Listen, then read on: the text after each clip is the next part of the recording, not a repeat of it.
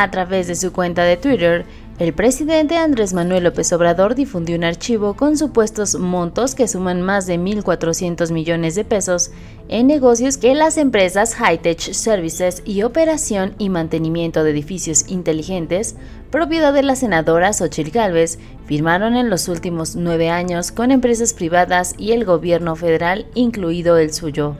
Entre las dependencias que han firmado contratos bajo el actual gobierno con estas dos empresas de la senadora están Petróleos Mexicanos, la Secretaría de Salud, el Servicio Nacional de Sanidad, Inocuidad y Calidad Agroalimentaria y el Instituto Politécnico Nacional. En su cuenta de Twitter, el jefe del Ejecutivo Federal señaló que hacía pública la información con la finalidad de que el empresario Claudio X González y mexicanos contra la corrupción y la impunidad analicen y verifiquen los contratos. Durante su conferencia mañanera, el presidente expuso que estos contratos se han otorgado con gobiernos anteriores, desarrolladores y de construcción.